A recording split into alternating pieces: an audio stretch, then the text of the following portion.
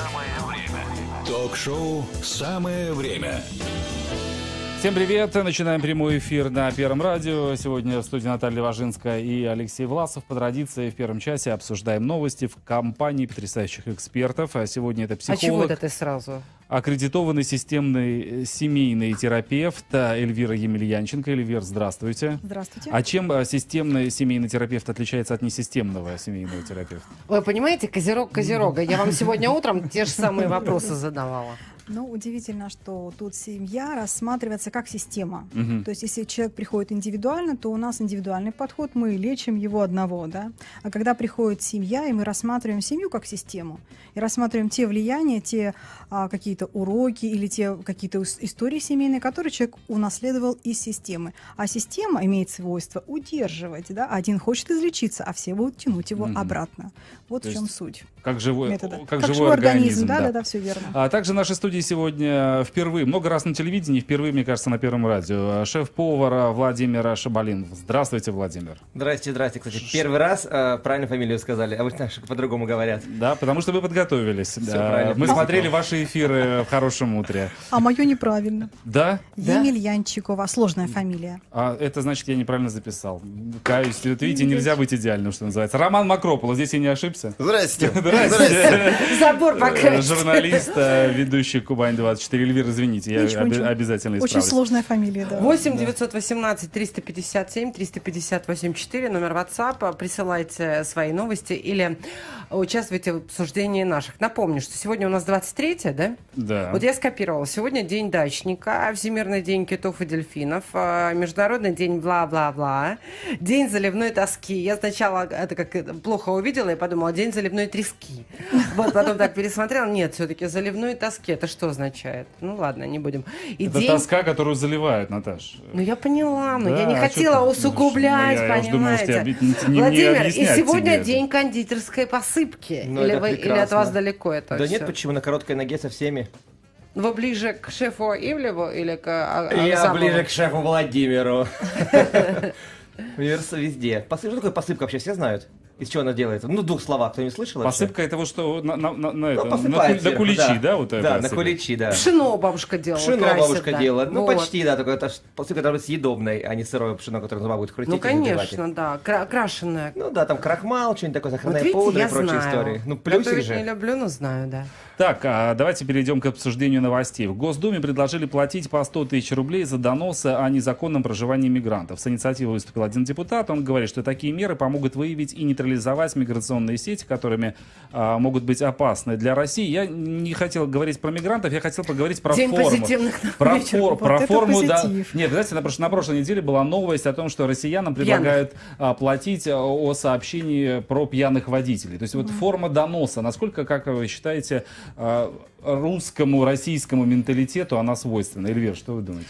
Я думаю, что для нашего менталитета вообще не свойственно доносить, да, мы стараемся как-то замалчивать или решать своими какими-то способами, но э, пока это не угрожает нашей безопасности. Мгм. То есть я сама водитель, э, я стараюсь соблюдать правила, ну не всегда получается, да, вождение, но если как бы навстречу едет э, человек в нетрезвом состоянии, это угрожает и моей безопасности, а также всем тем, кто на дороге. А если дети, да, то есть такой спорный вопрос. Я думаю, что если это было в Германии, то там все сказали да. Мгм. Но что касается России, тут мы еще подумаем, А я нет. Довлатова сразу вспомнила фразу известную. Какую? Ну, Ждите. П- Ну, кто написал, про да. миллионы доносов? Да, У меня да, да. сразу другая мысль. Это же прекрасный способ заработка. Вот, только хотел сказать, это двухсторонняя сторона. Для кого-то это плохо, кому-то это хорошо. Это же прекрасно. подпоил, подпоил я соседа. Потом ему говорю, там, Сергей Васильевич, а давай-ка ты быстренько в магазин сгоняешь, надо На добавить на, на автомобильчике, а то далеко. И пока он ездит аккуратненько, А- на него донес, и все, и до зарплаты уже можно А то, дожить. а- а то, что потом Ром, у ты тебя- нас- настолько идеальный, что я никогда не поверю, что ты можешь совершить что-то вот с ближним э, Никто своим. не верит. Именно этим я пользуюсь уже долгие годы. Александр, Это же удобно. Александр пишет, добрый вечер, это не донос, а проявление гражданской ответственности. Ну, э, Мы-то согласны, что это гражданская ответственность, просто форма. Ну хорошо, не донос, как это назвать э, по-другому можно? Эм, Помните, как Блюсти раньше порядок. Сигнал. Сигнал, вот. послать сигнал, хорошо, хорошо. До нас дошел сигнал. Владимир пишет, Наташенька, добрый вечер, я вас очень ждал, скучал, это персонаж. Владимир, вы женаты, я уже все про вас знаю. Так, стоимость самых дорогих апартаментов в Сочи превысила полмиллиарда рублей. А, вот такие... Сейчас объясню, почему я взяла эту новость. Я не собираюсь обсуждать недвижимость.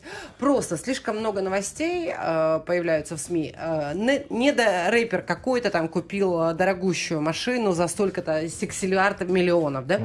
Вас раздражают такие новости, когда вот такое чересчур про чье-то Да богатство? на самом деле нет, просто как-то как лишнее палево просто и все. Вот смотрите, почему я взяла. Сегодня с мамой смотрим программу «Здоровье» с Еленой Ма- Жить здорово. А когда мама в гостях, я смотрю все, что смотрит мама.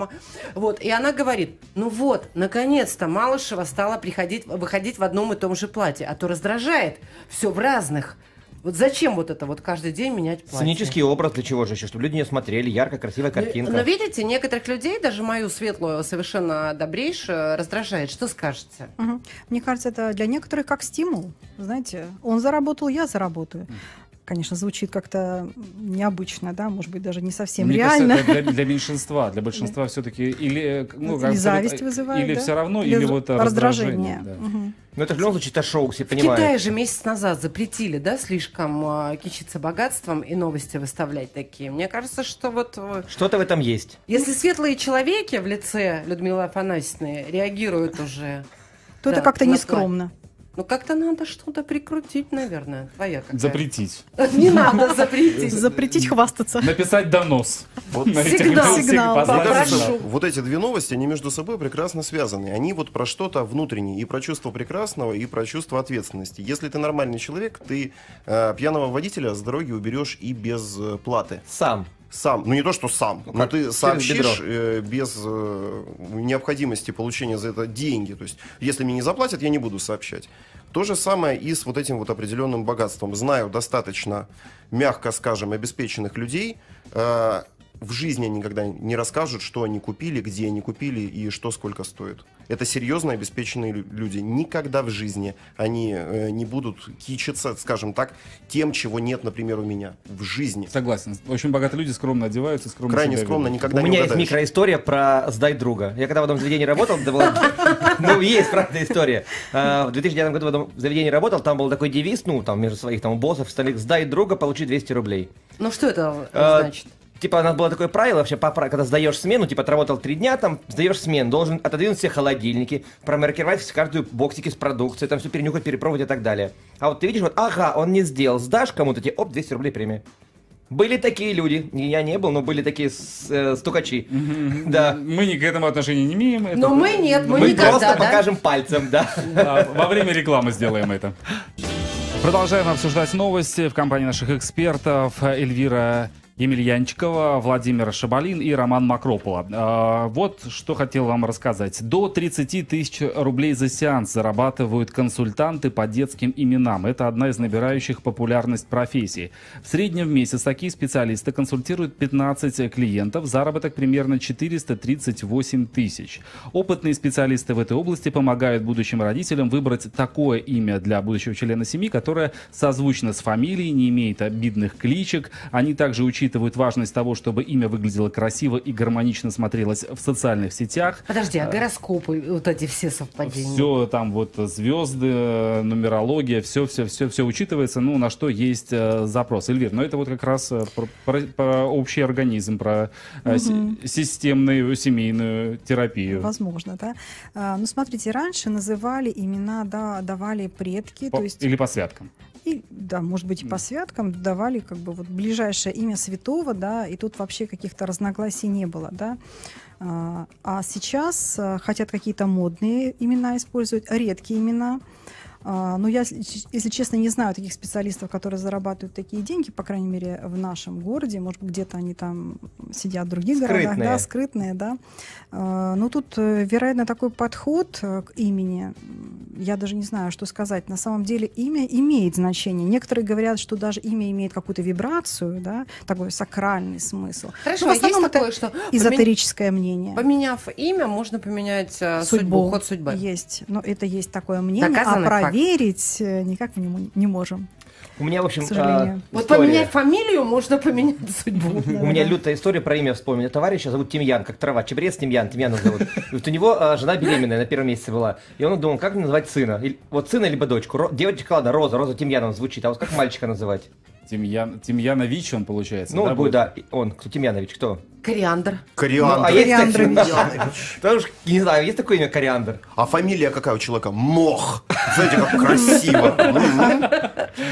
Ну, неплохо. А, а нужно было именно оригинальное, да, было? Нет, просто он думал, блин, вот реально, вот как мне назвать ребенка? Тимьянович. Вот ходили там, Ну, думали, подожди, там, а просто Алена не подойдет? Мальчик, или... Мальчик, А, если мальчик. Девочка А, Роза, он говорит, будет. Укроп? А мальчик? Ну, Илья. Нет, ну. Илья. Потому что у Ну, укроп засмеют. Засмеют, да? Да. Илья Тимьянович. Александр, это вне времени всегда, это всегда сильное имя. Александр, здравствуйте, Александр Тимьянович выйдет? Да? Ну, Александр Тимьянович, вас к телефону. Ну, не знаю я. Такая вот. Мирон. у, тебя, у тебя есть история с Хотите именами? быструю историю Давай, про имена? давай. Однажды я увидел немецкую лыжницу с фамилией Шассенбахер. Я решил, что мне надо обязательно на ней жениться и взять двойную фамилию Макропола Шассенбахер. Мы бы с ней родили, или родили, двух прекрасных сыновей, которых бы мы назвали Эдгар и Аскольд Макропола Ты Шассенбахер только Романовичи. И обязательно людям с такими именами, фамилиями и отчествами обязательно где-нибудь наверняка в Чехии выдают по госпрограмме замки родовые. Потому что Эдгар и Аскольд Макропола Шассенбахер. А Эдгар и Аскольд это запашный, ты меня не путай. Это уже ты только что придумал, это по классике. Это, это вот это вот скрипное Давайте дальше, Наташа. Следующее. В России намерены запретить пропаганду одиночества и отказа от семьи. Обращение, заявление о необходимости таких мер подготовила уполномоченный по правам ребенка в Татарстане Ирина Волынец.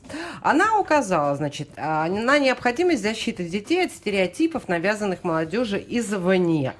Вот. А Про пропаганду одиночества попадает реклама и публичные кампании, подчеркивающие плюсы разрыва брака или одинокой жизни. Вот смотрите, если я с подружками собираюсь, например, ну или кто-то, Ну, да, да. после тяжелых отношений, и говорю, блин, как же классно одной, да, вот какое-то время пожить для себя, это попадает или нет?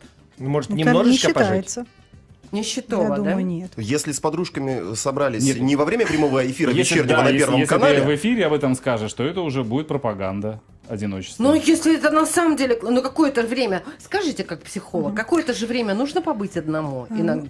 Ну, смотрите, этот год объявлен официально годом, Годом семьи. семьи, Да, да, то есть год, семья кажется, так. в приоритете, но в этом особенно, Ну, наверное. особенно, да, и надеюсь, что мы здесь э, понимаем, что истинные традиционные семейные ценности, они имеют место быть, и это правильно, да. То, что люди женятся, расходятся, это тоже процесс такой постоянный. Да? Почему происходит развод? Не пережили, не пережили какой-то кризис, э, сдались и разбежались. Да? Но в этот момент они могут встретить свою лучшую судьбу и продолжить жить более Это же не счастливо. происходит на следующий день. Нет, конечно, нужно отгоревать. Естественно, вот еще отгоревать. отгоревать. Но кто-то порадуется, да, кто-то, смотря кто, как э, этот э, развод, разрыв будет ощущать. Кто-то легко, а но в основном э, люди чувствуют. А рядом, смотрите, я сижу с подругами, Перемены. например, да, ну или я, а, э, гипотетическая какая-нибудь Ну, неважно, женщина, да. и говорит, а рядом кто-то сидит, услышал и посылает сигнал. сигнал. А она А вы говорит про, да, что в одиночестве хорошо. Это она сейчас это говорит, а потом она пьяная поедет. Мы над Вот. этим поработаем. Вот, развитие событий. Что там Леша пишет? А, Добрый вечер, меня зовут Анна. Как только в детстве меня не называли. Анка партизанка, Анка пулеметчица. Про Чапаева тоже с Петькой не забывали. Поэтому я сына назвала, чтобы не было никакого склонения. А вы не написали только, как вы назвали сына, чтобы не было никакого склонения. А вот мы не знаем, как его зовут, и нет никакого склонения. Все. А, Про Нюську и Нюрку это вообще болезненно было в детстве. Сейчас Нюси только близкие называют, и это мне Слушай, нравится. Анна прекрасная Анна очень Я дочка зовут Аня, дочкой. отличное имя. Анна самое распространенное имя на Земле. Да. Во да. всех оно странах а, присутствует в большинстве. Короткая, красивая, И ёмкая. всем понятно. И причем Да. читается с обеих сторон одинаково. Что у тебя, Леш? Напишите, Анна, как вы назвали сына. А, успеем две минуты. Успеем, А, успеем. Мама из Британии берет со своих детей плату за жилье, Ой, я Я эту такие истории. а, коммунальные Да-да-да. услуги, но платит зарплату за помощь по дому. Ее дети получают около 550 рублей, почему-то написано, за уборку. Ну, и в выпол- переводе. Ну, видимо, да, за уборку и выполнение домашней работы. При этом аренда жилья обходится им примерно в 100 рублей в месяц. Каждый из детей получает свою зарплату и оплачивает услуги. Женщина говорит, что таким образом а, приручает их к финансовой грамотности. Слушай, это очень круто. Я Это читала эту новость. тема. То есть она им платит за домашнюю работу, но вычитает какую-то часть, Ну, да? 550 Налоги. платят. 100, Приучая да. их к тому, что всю жизнь им придется отдавать какую-то, Какую-то часть. часть. Ну, Я мне кажется, прекрасные да. уроки Классная мотивация. У меня в голове сразу же еще одна схема.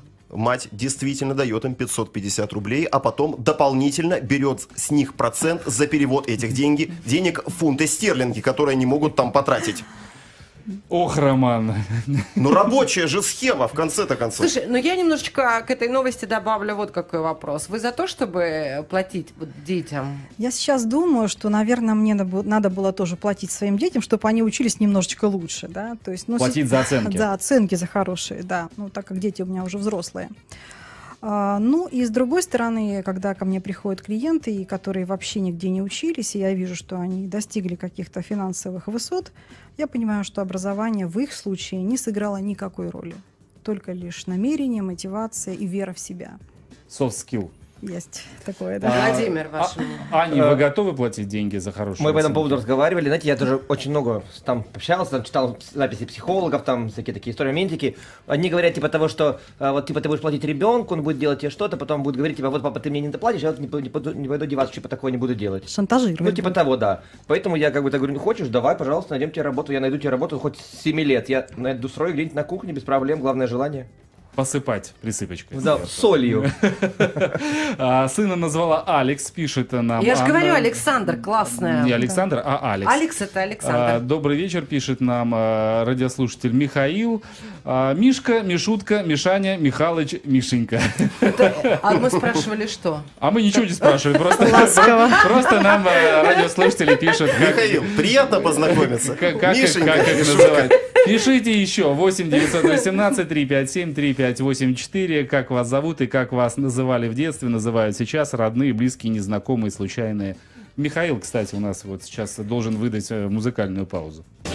Напомню, что в студии Первого радио помогает нам обсуждать новости Эльвира Емельянчикова, психолог, аккредитованный системный семейный терапевт, а Владимир Шабалин, шеф-повар, и Роман Макропола, журналист, ведущий Кубань-24. Ваши сообщения а, ждем по телефону 8 918 357 3584. И тема с именами зацепила. Вот, э, смотри, Так. нам пишет. Здравствуйте, меня зовут Егор, сыновей назвал Евгений и Даниил. А в голове не укладывается, как можно исковеркать имена. А меня лет с 15 многие почему-то называют отчеством Егорч. Почему, сам, сам не знаю.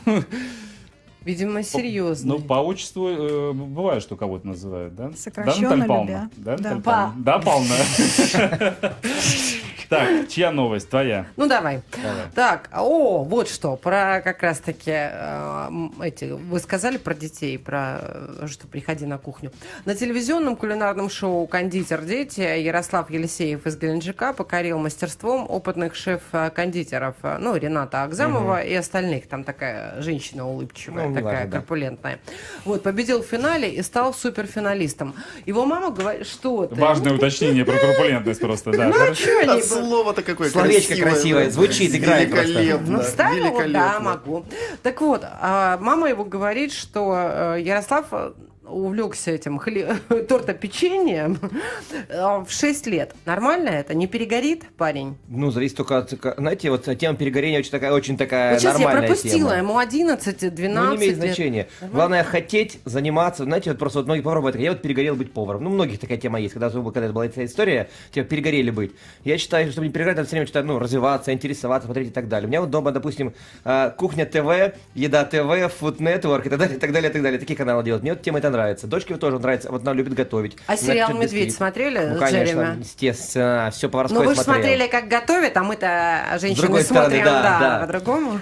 Мы вообще с товарищем хотим, у меня товарищ просто сомелье, мы хотим с ним такую с ним тему замутить, э, какой-нибудь фильм про поварской, и он подбирает вино под каждое блюдо, я вот, под, а вот в фильме выносит блюдо, и это блюдо готовлю. И вот такую тему хотим замутить ужин. То есть кино, э, Под еду. кулинария и напитки. Да. Круто. Вам вопрос как психолог. Да, скажите, вот а, именно когда ребенок чем-то увлекается с раннего детства, там, не знаю, музыка, рисование, э, кулинария. Вот в данном по- случае у потом. него уже И, победы, вс- и да? все говорят гений, гений, гений. Ну да, может перегореть, но с другой стороны, если родитель уже заметил какую-то склонность к какому-то виду, не знаю, искусства или там деятельности, это надо поощрять, почему бы и нет.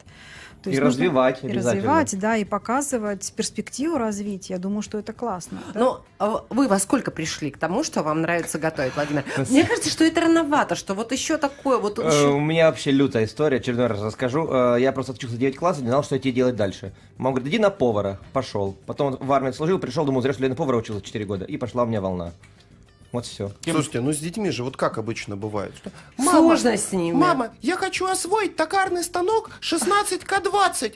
А Она ему и говорит, там, нет, Ярополк, у тебя сейчас сольфеджио. Нет, никаких токарных станков. Убери эти все фотографии токарных станков из твоей комнаты. Нет. И вот родители частенько какие-то свои вот внутренние хотелки, которые что-то, может, они в детстве не сделали, на детей перекладывают и совершенно не смотрят, чем детишки-то замечательные хотят заниматься. Слушайте, это хорошо, когда они знают, э, чем они хотят И заниматься. когда получается. Потому а что- если бы он сразу получил щелчок такой, твой бисквит плохой, как там эта тетя корпулентная, еще раз повторю. Она... Олечка зовут ее. Да? Олечка, да. Олечка такая, улыбчивая Да-да-да, такая, такая улыбочка Такая такая. корпулентная. Э, Она говорит всегда, ой, бисквит у тебя чуть не удался, да, или крем какой-то слишком сладкий. Если бы парень наш замечательный, из Геленджика, повторю, да. И, Наш. и наш красавчик Ярослав а, Елисеев, у которого торты просто э, великолепные. Если бы вот это вот его сразу осадили, Ну, это же... Это, знаете, я считаю наоборот. Ну, кто, какой ребенок? Либо это типа, вот я делаю еще лучше, либо, блин, я такой стрёмный, делать больше не буду. Тут зависит, как все преподнести. В, легко- си- да. в легкой атлетике он как девчонок. Как? Э, Вспомни Ирину Винер. Я легкая... Какая легкая? Какая Ирина Винер и легкая атлетика? Это художественная Худо- гимнастика. художественная гимнастика, Ой, господи, да. Это был Ты тест. мой близкий... Это, это мой близкий к спорту друг. Да, да, да. да. А, к- продолжение темы. Большинство российских старшеклассников не могут определиться с профессией. О, Э, Хороший вопрос. а, Сфера культуры и искусства привлекает большинство опрошенных школьников, 37%. На втором месте медицина и здравоохранение, 27%. Замыкают тройку IT, 10%. Дальше 6%. А, Значит, вы, э, смотрят направление экономической деятельности или спорта, туризма, госслужба, предпринимательство, юриспруденция 3%. Не пользуются популярностью. Такие сферы, как образование и наука, маркетинг и реклама, торговля, сельское хозяйство и промышленность, на них суммарно пришлось только 2%. Это где статистика такая? Мне кажется, наедалово небольшое. Э, А почему? э, Ну, и что-то как вы тут рассказали, это маркетинг. Вот у меня, вот, допустим, ну, неважно ни у кого, э, кого ты не спросишь, кто маркетолог, кто там СММщик, кто Ну, вот у меня сын Но маркетолог. это они уже, они уже взрослые. А вот сейчас Ну как? старш- старшеклассники, они больше интересуются, им интересна культура, искусство, здравоохранение и IT. Подожди, Может, а культура и искусство в каком виде их Ну, не знаю, может быть, хотят быть... Танцевать Ну на вот, сцене петь, Мариинки петь, или танцевать. что? Наверное, вот это. Шоу танцы на ТНТ? И получать миллионы. Да нет. Танцевать в ТикТоке в каком-нибудь. А, подожди, анекдот может даже. Мы, с- Блогеры, мы с тобой блогеры. даже шутку сегодня обсуждали. Я вынужден сегодня идти на работу, потому что в 2019-м я стеснялся танцевать в ТикТоке, да? Да, Да, да, да, возможно, кстати, такая тема. Эльвир, скажите, неопределенность э, в старших классах, э, кем ты хочешь быть? Это Ну, это, наверное, нормально? вопрос профориентологу. Есть такие специалисты, которые вот, занимаются исследованием. Это вопросы, и можно прийти к ним. Вот у ребенка уже не надо ждать там 11 класса, приводить его прямо в 9 классе. У меня есть такая коллега, А которая... мы в школе ездили. А если мальчик, вот наш Ярослав Елисеев, торты печет уже с Ну, тут все лет? понятно. понятно. Тут Может, всё это хобби понятно. А А вот- почему? вот, А история, почему как, как с Владимиром, понятно? когда он школу заканчивал и не знал, а, куда идти дальше учиться. Пожалуйста. А, Красавчик, кон- Конечно, вообще история. здорово, если бы была у детей возможность э, пойти на какое-то предприятие, ну, на экскурсию, посмотреть реально, как люди работают. Так еще не везде пускают, к э, сожалению. зарабатывают, да, то есть на самом деле не все так бывает э, безоблачно, да, посмотреть на реальную жизнь, на реальную работу. А, к сожалению, такого у нас нет. Возможно, это скоро появится, да, что можно будет прийти э, вместе там, с классным руководителем, посетить какое-то предприятие, что-то посмотреть, даже что-нибудь испечь на этом, в этом же ресторане, да, если позволит, да, чтобы понять, Ну, э, испечь, пригоден ли- испечь. Про- Или на- когда нас водили на фабрику швейную, водили нас в фабрику кукол, это ничего не увлекало. Не увлекло, да. Папа инженеры, они пегаспереработка, то есть в детстве я приходила, чертежи меня не увлекали. Как понять, что вот, вот если не привлекает ни печь, ни Кем ты хотел быть в детстве, Рома? Да я вам реальную историю расскажу. Мы- Не, серьезно, без немецкой наконец-то лыжницы. Без немецкой лыжницы. А, в школьные годы я ходил на станцию, на которой я заботился о разнообразных зверушках. Юнатов. Юнатов, да. Забыл на секунду, как она называется. Ветеринар. Удивительное дело. А, И там я катался на чешском тракторе, как сейчас помню, ТЗ-4К14. Я был самым счастливым маленьким этим мальчуганом. С Юнатом. Подождите, я вспомнила, ты хотел быть машинистом этого... э, Электрички. Электрички, Но да. я не стал э, машинистом электропоезда, я не стал трактористом, но при этом я свято верю, что я нахожусь на своем месте. Вот в данную секунду, в данном своем жизненном этапе и пути. Но при этом я до сих пор временами посматриваю Потому на что фотографии трактор трактора уже пройден. Актуально в ТЗ-4К14. наше время быть. Слушай, ну ты трактор сейчас вернул для того, чтобы хорошим таким показаться. Да не хорошие, ну что вы начинаете? Эльвира, а кем вы мечтали быть в школе? Ну, вообще я говорила всем, что я буду врачом в начальной школе, да, то есть я не мечтала никогда стать психологом, так получилось. А в выпускных классах? Я думала, что я пойду изучать английский язык, но мой папа сказал, нет, у нас все учились в политехе, сначала пойдешь в политех. После того, как я закончила политех, а, дальше там судьба моя по-другому немножко сложилась, и уже с 11 года я в психологии. То есть иногда так бывает, что мы выбираем не то, что мы хотим, либо ну, родители нам откровенно советуют что-то хорошее, а потом оно никогда не пригодится в Извините, жизни. вспомнилось, это совершенно к вам не относится, и поэтому я стал логопедом. Да-да-да. Тут можно исклю- методом исключения. Я попробовал, да, вот я попробовал, как вот э, сказал коллега, да, что он э, на тракторе проехал, и понял, что он туда уже не вернется, в этот трактор, да, не сядет никогда. Кто его знает?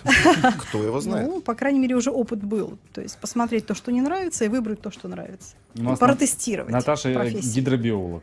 Слушай, Ух я ты. хотела быть художником-модельером. Я закончила художественную школу, меня родители возили каждый год на- по музеям смотреть. Значит, я приехала поступать, мне сказали год а, работать натурщицей, и, может быть, из девочки что-то выйдет. Папа, услышав слово натурщица, все, порвал все э, картины, рисунки. Ассоциации. И я пошла в зоотехнику. Я хотел быть театр- Зооинженера, да. театральным режиссером, но мама сказала Слушай, юридическим. ну ты близок, близок, да, ты Ну, вот творческий. видишь. Но при этом, коллеги, посмотрите, как вы все-таки хороши в нынешних своих социальных и рабочих ролях. Да, с, Ну, гру- вот с грузом же. гидробиологии и юриспруденции. Оно как-то ж помогает. Очень. На каких-то вот нейронных связях я- в мозгу что-то вот произошло. Когда я плаваю в ночном море ночью, да, я знаю, что то, что светится, это тема моей дипломной работы. А я когда пишу миллиарис. новость- новости э, в телевидении, отличаю э, подозреваемого, осужденного и, и обвиняемого. Это Здорово. разные вещи. да. Здорово. Рекламу давайте выдадим. Роман сказал, работаем, Наташ. Так, не новость. В новом выпуске шоу «Выжить в Дубае» это не, не реклама а программ на другом канале, а просто упоминание. Возвращение. Пожарному из Туапсе предстояло измерить вес Скорпиона. Там наш парень просто, да, и пока он там просто рулит. Ну, красавчик. Так вот, а, недавно увидела мнение, что все эти реалити-шоу очень испортились и дают плохой энер- э, пример молодежи.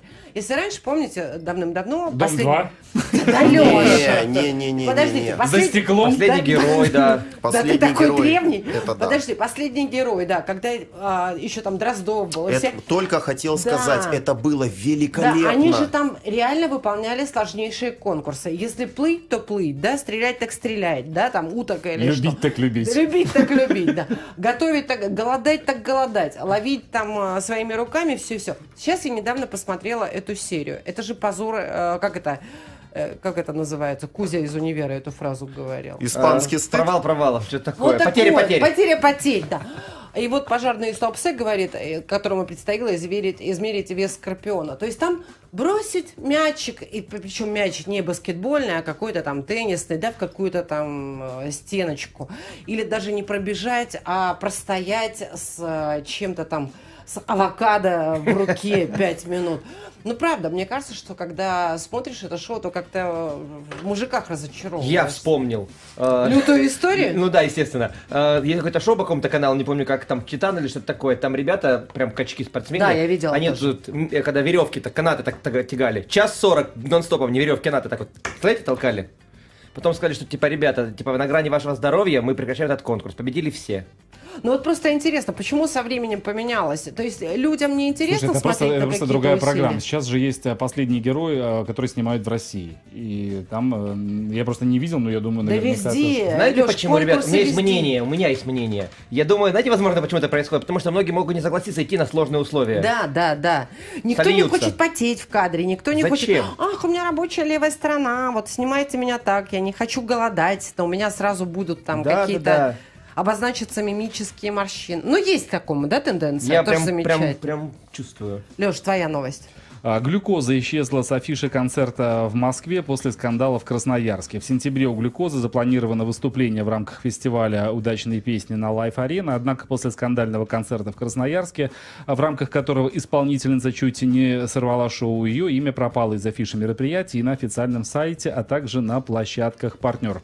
Вообще обратил внимание, что э, очень многие стали высказываться по этому поводу. Вот прямо хлебом не корми, не знаю, там какая-нибудь малоизвестная певица или давно забытые актеры обязаны просто обязательно вставить свои пять Слушай, копеек все, по поводу все очень крутые телеграм-каналы, светские типа, да, которые популярны, у которых там 500 тысяч подписчиков, 200, 300, все начинают, ну, как бы выступают в ее защиту. Ну, не все выступают в защиту, многие осуждают. Илья, скажите, вообще вот эта ситуация, когда какой-то из селебов, да, где-то накосячил, и вот это начинается полоскание грязного белья. Это какая-то такая вот тенденция последних лет. и Почему она вообще возникла? Почему нам это стало так интересно?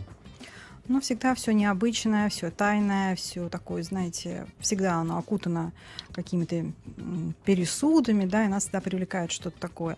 Я даже слышала, что э, какая-то подруга глюкозы защищала ее, сказала, что она сейчас в таком состоянии в связи со смертью ее бабушки, поэтому не осуждайте Это одна версия. Это Другая, одна что версия. муж изменил. А, Три. да? Да. Вот, э, сколько версий, да, будет существовать? Да, версий может быть много. Меня просто, э, если честно, немножко поражает э, вот, ну хорошо, да, был конфликт, э, ну э, это было позавчера, но вот эта история, мне кажется, еще будет тянуться несколько, Слушай, несколько Максим недель. отменяли, вернулась, прекрасно Да, поет. да, Да, да. Возможно- Губина мы недавно с тобой обсуждали, да? По всем ток-шоу прошелся в ужасном состоянии. Сейчас он участвует в крупнейших музыкальных Я- Возможно, я- фестивалях. что это вот это полоскание грязного белья, это что? Это снятие Возможно, стресса? Да, антиреклама, да, тоже реклама. То есть рассказать о себе плохо, показаться не в самом пристойном виде, чтобы о тебе Чтобы говорили. звали в ток-шоу потом. Чтобы, чтобы отменили концерт в Москве? Ну, Не, а потом героически выйти, Выйти из тени, э, начать перезапуск своей карьеры и написать об этом Слушайте. книгу и Ну, еще сделать, например, реалити-шоу. А ей уже, уже кто-то написал, что сейчас придут молодые, дерзкие на ее место, и все. И пока, Наташа Ионова. Смотрите, 18 июля а, в одном известном банке проводилось мероприятие, очень крутое. Вот, среди гостей, и, смотри, там ни одного селеба было старше 30, э, там, с небольшим лет. Была, значит, на вечеринке Катя Клэп, Саша Сулим. Вам известны эти имена? Ну, Это очень крутой банк, конечно. да? А, Саша Сулим, Сер- Сергей Калюжный, Илья Куруч, а, Катя Канасова, Наталья Ищук, Сережа Романцев, Ирена Понарошку. Я знаю, знаю. Ирена Понарошку, вот. Она была, она на MTV была. Да-да-да. Она старше 30. Она в 2000-х открывала MTV, да. И Ирена Понарошку, Лиза Шатилова. Ведущими вечера стали блогеры Женя Гришечкин и Вася Шакулин. Одна знакомая фамилия. Какая? А, Для меня. Вот Ирен. Ирена Понарошку. Я, я ее помню еще Вот, вот с остальные, видите, то есть как бы а, даже крутейшие организации делают ставку на, молодых. на очень молодых и на тех, на кого смотрят молодые, да, то есть вот эти имена. Понятно, что некоторых мы знаем, там а, Катя Клейп, известный Нет, блогер. не там, знаю, к сожалению. Не знаешь вообще? Нет, что-то ходила. Люша, да Клейп, она даже выступала в Госдуме. Саша Сулим там что-то слышала, да, Канасова в каких-то они ток-шоу участвовали. Вот, но тем не менее. Слушай, ну это, хорошо, это, нормально? зак- закономерный процесс, Ну, конечно. Это для молодежной, для молодежной аудитории. Подтянуть больше молодых, э, привлечь внимание. Ну а что им всего. мешает? А что им мешает пар- параллельно пригласить еще... Лещенко. Да не трожь моего любимого Льва полей. Что-то доносится. Как-то ущемляют взрослую аудиторию, понимаешь? слушай, Когда могут дешевле эти блогеры, молодежь. чем другие. Почему? Вот Да уж, смотри, конечно, в Краснодаре дешевле. э, концерт большой звезды нулевых и 90-х приезжает. И кто там поет? Не Ну. Вадим Казаченко. Например, да. Тогда для них э, создан аншлаг, Регина Дубовицкая собирает таких. И откуда-то из глубин памяти. Здравствуйте, мои дорогие. Дорогие, да. Слушай, ну они привлекают э, молодую аудиторию. Здесь просто э, еще разговор о другом, что сейчас появилось очень много, вот э, назовем их, как ты говоришь, селебов, да, если... Слишком много. Слишком много, да, и просто э, уследить за всеми физически невозможно. Если раньше их было один, два, три, ты их знал, то сейчас их такое количество, что просто их, э, Но физически с другой невозможно стороны, они же каждый день новые. Они же Да. каждый день Нет, новые. нет, некоторые добирают прямо вообще и уже сидят плотненько на своих Ну вот когда доберут, тогда вот я буду разбираться, кто они такие, а у каждого нового узнавать у меня памяти не Вы хватит. знаете, а мы в следующем чате а, будем говорить а, о том, как ведут себя отдыхающие на курортах Краснодарского края. И нашим слушателям мы хотим задать вопрос, что вас раздражает в поведении отдыхающих на побережье у нас на курортах Краснодарского края. Что бы вы ответили на этот вопрос? Вот такую затравку мы хотим. Я сразу, знаете, может, я скажу? Да, у вас всегда есть лютая история. Не, просто я что-то вспомнил, э, как раньше, помните, караоке, телевизоры стояли на побережье, Да, ходили, да, пели. да, да, Все, я, все. То есть их уже давно Просто, нет, я не знаю, просто вспомнил эту историю. Там Владимир, то есть вас «А-а-а». раздражают поющие? Не-не, я сам пою, набережной? нет, нет. Ну, только припевы знаю. Э, Меня раздражает, не знаю, что раздражает. То, что, то, что негде ходить, везде слишком людно. То, что их много. Да, слишком людно. И все места забиты везде. Вот все. Э, Роман. У меня такая вот несколько философская на этот счет мысль. Все-таки люди приезжают на курорты Краснодарского края отдыхать и немножечко оставляют свои заботы и культурные нормы. Вот человек идет и видно, он изо всех сил Оставляет отдыхает. курортные нормы. Он прям отдыхает. Ты про От- пьяных? Э, И про пьяных, и про тех, кто может вот э, в каких-нибудь обтягивающих плавках э, В центр города. в центр города пойти. Э, Ну, прям видно, что человек отдыхает. Пьяный в плавках в центре города. Все, мы поняли. Да, Эльвира, что вас, э, не- что вам не нравится в поведении отдыха э, туристов? Мне, во-первых, не нравится трафик, да, мне не нравится, что пробки, что мы с вами живем рядом с морем и не можем до него добраться. Нам нужно потратить 7 часов, чтобы приехать туда, куда мы можем добраться за 2,5-3 часа. Да? Элементарно их много. Тех, которые едут э, в потоке на наше Что- Черное море. Что да? не нравится в поведении? Поведение. В поведении, скорее всего, э, мне нравится то, что мусорят, да, не убирают за собой. Мне не нравится, что очень громко кричат отдыхающие на пляже. Причем так вот. Леночка, как Тагил!» там вода? Так Ой, нужно- вода Подождите, подождите, а мы холодная». не кричим местные? Ну, я про себя говорю, я стараюсь потише Ну, нет, ну, приехать, а- а, наслаждаться слушайте, а- а- морем, а- слушать тишину, слушать волны, да, чайки, да, вот приезжают. Мы же говорим ой-ой-ой. отдыхающие, не обязательно отдыхающие из других регионов, но Отдыхающие, вот из Краснодарского края тоже. Громко на- на- на говорящие побе- меня очень побережье. раздражает. Причем, когда еще дети кричат, плачут, они там их начинают воспитывать, шлепать по попе, да, эти все эти Ой, сейчас крики. получим от ежематерей. Ой-ой-ой. То есть, А- ну, как-то вот это вот, да, нужно бы с этим Это про меня, я громко разговариваю. Начина- Начинайте нам уже писать в WhatsApp 8 918 357 3584, что вам не нравится в поведении отдыхающих. Напомню, что в первом часе у нас были психолог а, Эльвира Емельянчикова, шеф-повар Владимир Шевалин и журналист Роман Макропол. Спасибо, уважаемый эксперт. С вами Спасибо было вам, очень ребята. весело. Вернемся через несколько минут в студию. Ток-шоу «Самое время».